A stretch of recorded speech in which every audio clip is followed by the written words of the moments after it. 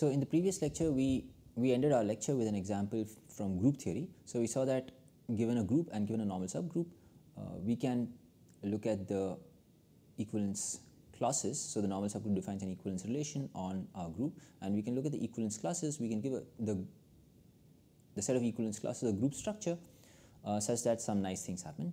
And today in this lecture we will uh, see that we can do something similar in topology. So, let us address the question first what the question is.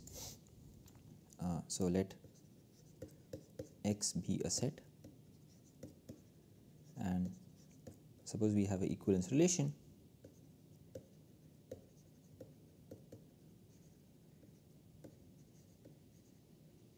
on X right. So, let X mod equivalence be the set of equivalence classes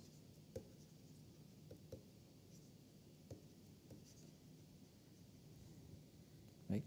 So, then we have this obvious map the natural map pi from x to x mod equivalence right. What does it do? It takes x and sends it to its equivalence class. So, right now everything is only happening for sets right. Uh, now, suppose we have a map of sets. F from x to y right? Uh, such that x equivalent to y implies f of x equal to f of y right? Or this property we can phrase it as follows uh, simply simply stated.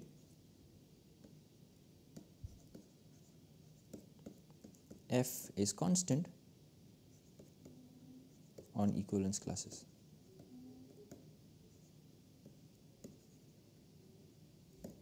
Right.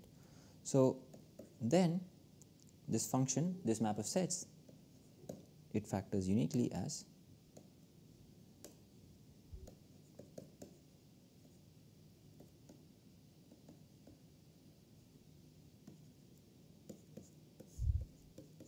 So, we have f mod equivalence is pi. So, it factors like f naught. We get a map of sets from the set of equivalence classes to y, right? And what is f naught? So, f naught is defined as follows.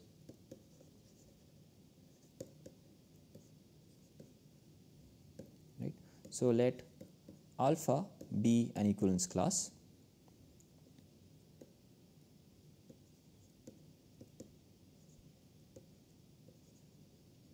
right and let x in x be such that the equivalence class of x is this alpha right. So, we define f naught of alpha to be equal to f of x right. Now, this is well defined because f is constant on equivalence classes right. So, clearly this definition makes sense as f is constant on equivalence classes.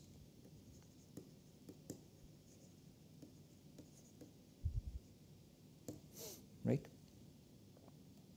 So, now we are going to bring in topologies and we are going to complicate this problem. So, now further assume that or rather now consider the situation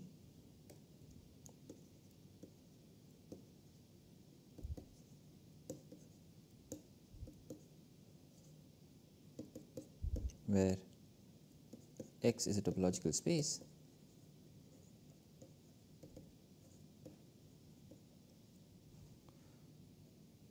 yeah and we have this equivalence relation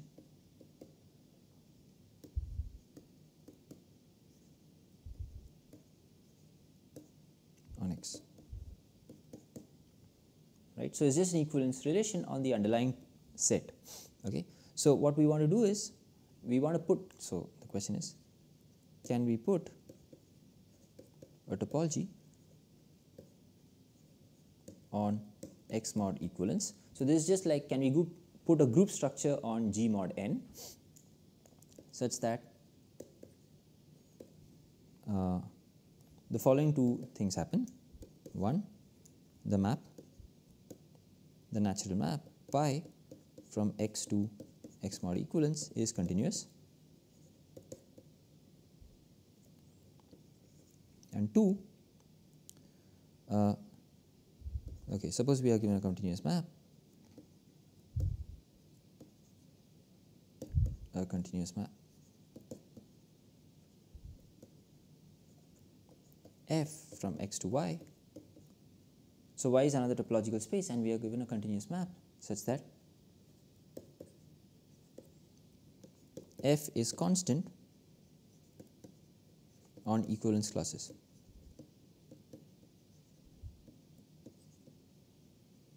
Right. So, then as a map of sets we are going to get a factorization like this. F is this. We have pi. We have x mod equivalence. And we get this map of sets f naught. Then we get a map of sets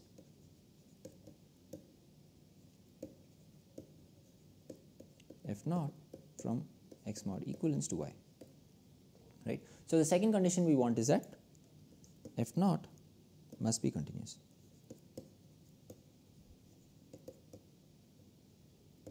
Right. So, we do not so we get a unique map of sets in fact right. Even here the f naught is unique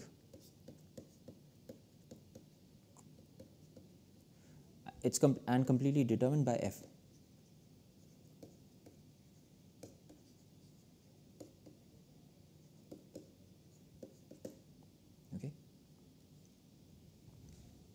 Okay. So, let me make a remark.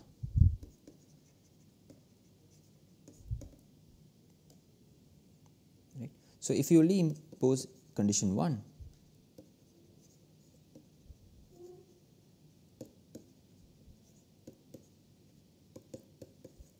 so then this problem has a very easy solution.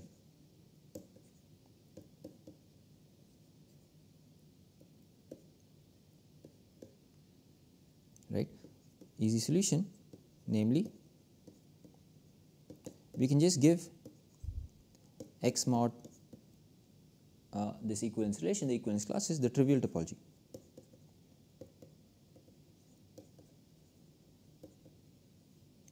Right. So since there are only two open subsets the empty set and the entire set the inverse image of both these will be uh, open and therefore pi will be continuous yeah.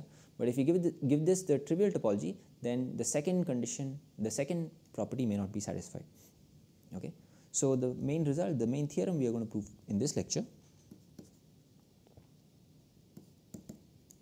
there is a unique topology.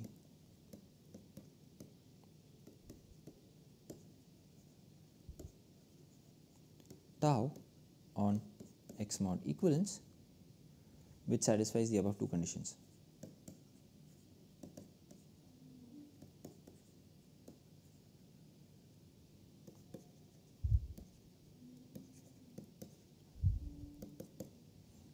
Okay. So, let us prove this theorem. So,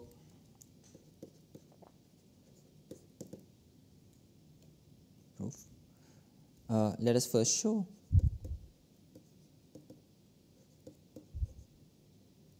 that there is such a topology, a topology tau on x mod this equivalence which satisfy, satisfying the two conditions.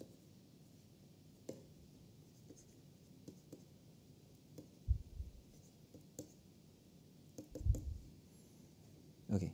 So, we are going to define tau first. So, let tau be the collection of subsets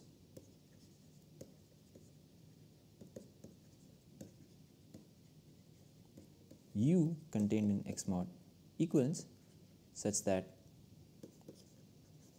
this pi inverse u is open in x. Okay. So, uh, it is easily checked and I will leave it as an exercise.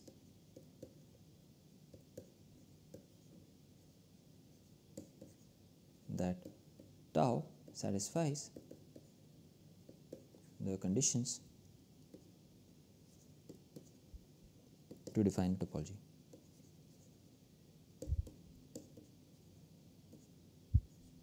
on x equivalence.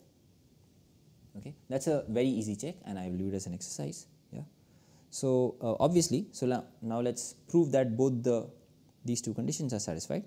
So first we have to show that this map pi from x to x mod equivalence is continuous. Yeah. So 1 the map pi x to x mod equivalence is continuous. Right? For this we have to show that given an open subset v in x mod equivalence pi inverse v is open in x yeah? But this is clear from the very definition of uh, the topology on x mod equivalence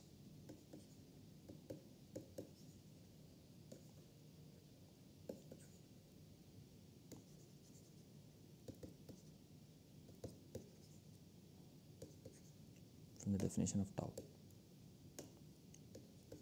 Right? V is in tau if and only if pi inverse V is an open subset of X. Okay?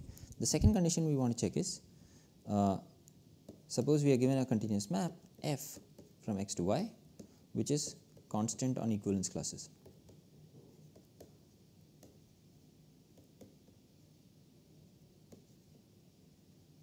Right? So then we get this resulting map f naught of sets, a map of sets determined by f. Right. So we need to show that we need to show that f naught is continuous.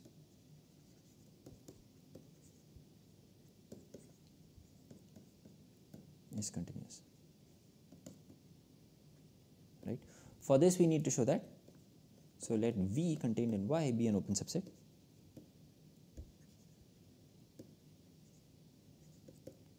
So we need to show that.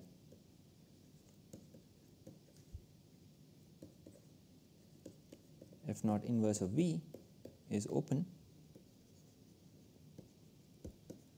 x mod equivalence. Yeah. So for this, uh, applying the definition,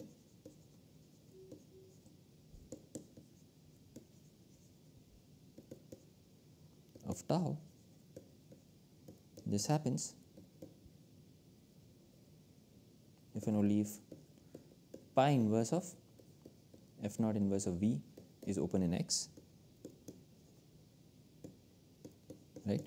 But simple set theory tells us that pi inverse of f naught inverse of v is equal to f inverse of v which is open as f is continuous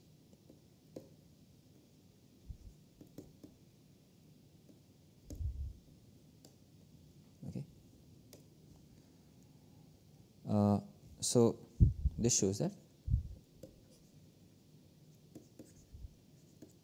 tau satisfies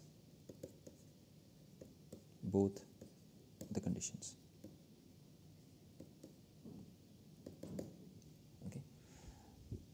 Um, uh, next, let us prove that this topology is unique.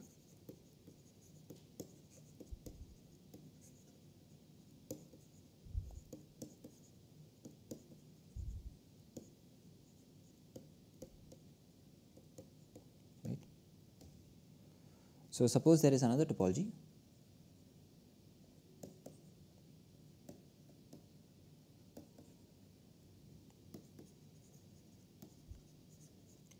tau prime on x mod equivalence such that conditions 1 and 2 hold for tau prime. Okay. So, let us make this diagram. So, we have x, we have this map pi, this map is to x mod equivalence comma tau prime. Yeah. So, the first condition is that the obvious map x goes to the class of x, this should be continuous if x mod equivalence has the topology uh, has the has should be continuous in our topology. So, we are giving x mod equivalence the topology tau prime and by assumption since tau prime satisfies condition 1 this map is continuous right. So, but we also have this map x mod equivalence comma tau right. Now, as tau satisfies condition 2 we get this dotted arrow like this right. So, let us call this pi naught yeah. Uh, okay, so the dotted arrow we will get anyway. So, note that map of sets pi naught.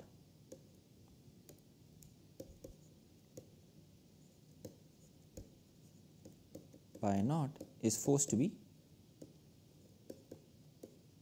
be the identity. Uh, as this yeah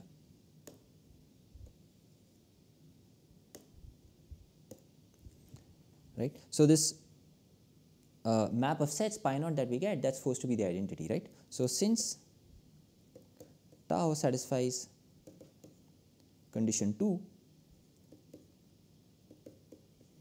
this implies that pi naught is continuous right? So thus if v is in tau prime v is an open subset in tau prime then pi inverse pi naught inverse of v which is equal to v is open in tau Right? So, this implies that tau prime is contained in tau. Okay. So, similarly, we can switch the roles of tau and tau prime. So, we have this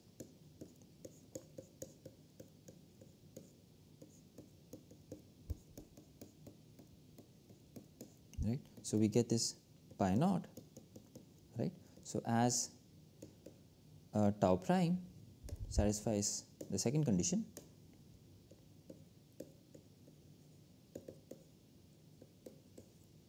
This implies that pi naught is continuous. So, once again this implies that tau is contained in tau prime, right. So, thus tau is equal to tau prime.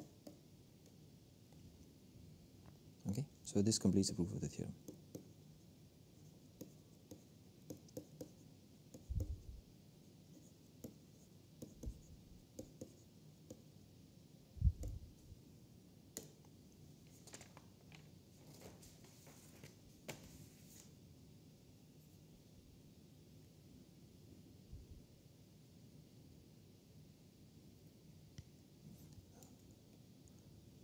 So, this topology, the above topology on X mod equivalence is called the quotient topology.